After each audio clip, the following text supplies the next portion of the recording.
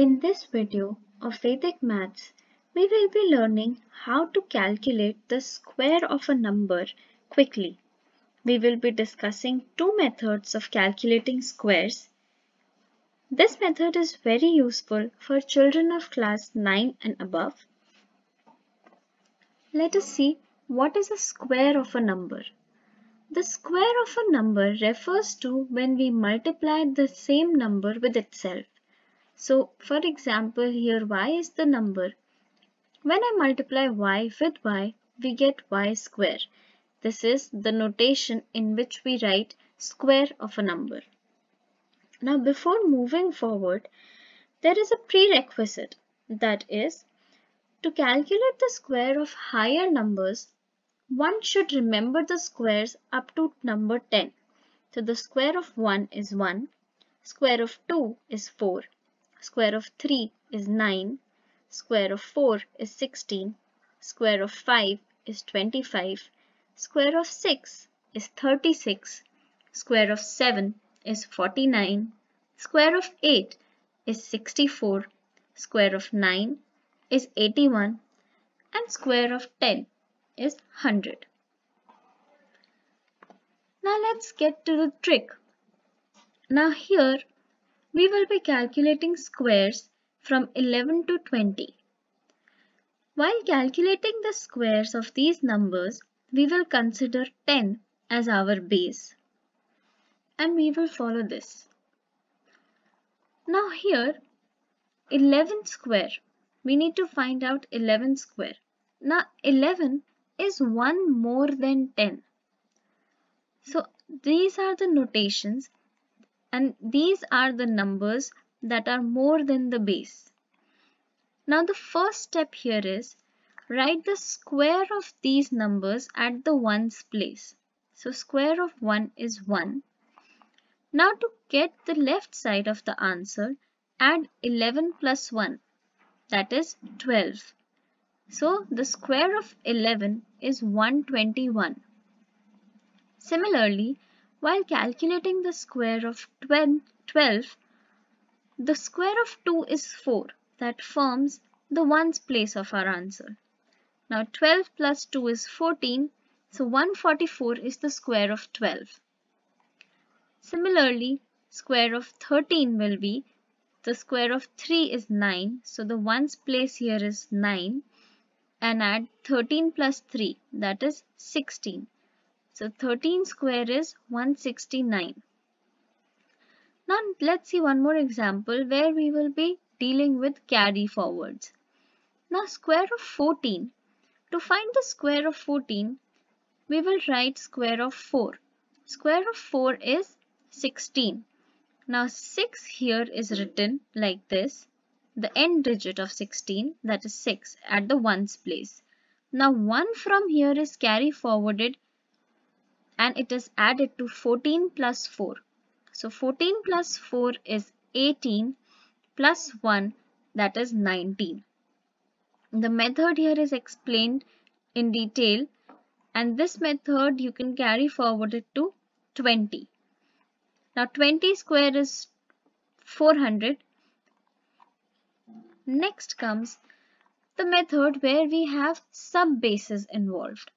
Now in this case, we will be calculating squares from 21 to 30.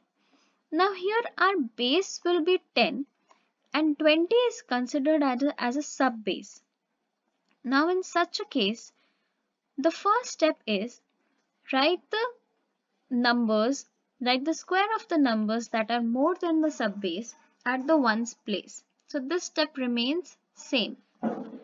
1 square is 1. Now before writing this left part of our answer, we need to follow one or two steps. The first step is add 21 plus 1 that becomes 22. But now since 20 is 2 times 10 so I am going to multiply 22 with 2 that gives me 44. Hence the square of 21 is 441. Similarly, while calculating the square of 22, the first step remains same. To get the square of 2 at the ones place which is 4. Now add 22 plus 2 that is 24. Now 24 will be multiplied with 2 because 2 is a 20 is a subbase here. Now 24 into 2 gives 48. So the square of 22 is 484. Now let's see how we can follow this method up to 29. Now to calculate the square of 28, the first step is calculate square of 8 because 28 is 8 more than the subbase which is 64. Now 4 forms the right side of our answer that means the ones place and 6 is carry forwarded. Now since 28 is 8 more than the base, we added 28 plus 8 which is 36.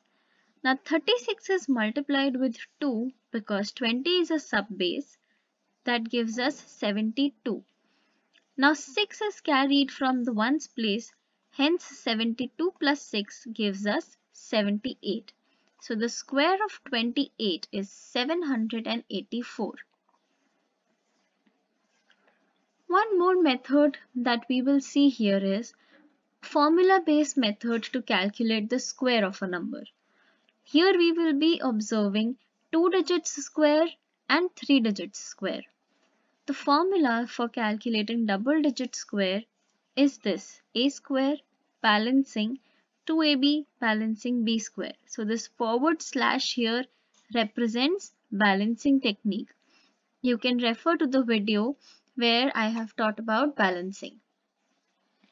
Now this formula for 3 digit square is written here. Let's see an example. For example, 75 square we need to find out. Here A is 7, B is 5. So the first step is calculate square of 7, then multiply 2 with 7 and 5 and write the 5 square. Now solving this, 7 square is 49. 2 times 7 is 14. 14 times 5 is 70. 5 square is 25. Now to balance these numbers and to get the final answer, we will write the end digit that is 5 here. This 2 is carry forwarded to 70 that becomes 72. So 2 comes in our answer and 7 is carried to 49. 49 plus 7 is 56. Let's see an example of a three digit number. 648 square we need to find out. Here 6 is A, 4 is B, 8 is C. Putting the values in the formula, we get 6 square, then 2 into 6 into 4, 2 into 6 into 8 plus B square that is 4 square 2 into b into c that is 4 into 8 and b square that is 8. Now here 36, 48, 96 plus 16, 64 and 64.